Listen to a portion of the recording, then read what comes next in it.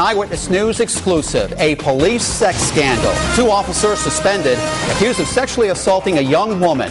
Both men off the force until an investigation is complete.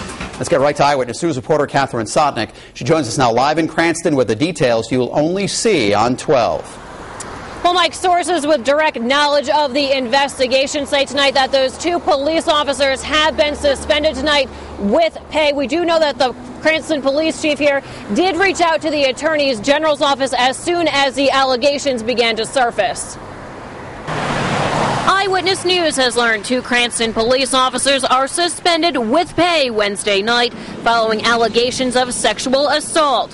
Sources with direct knowledge of the investigation confirming the information for Eyewitness News. They say the alleged accuser is a young woman. It's unclear at this point if she's cooperating with authorities. The investigation now in the hands of the Attorney General's office. Cranston Police Chief Colonel Marco Palombo not commenting on the allegation, citing the police officer's Bill of Rights. Mayor Allan Fung's office also not commenting on the alleged incident once again, citing the police officer's Bill of Rights.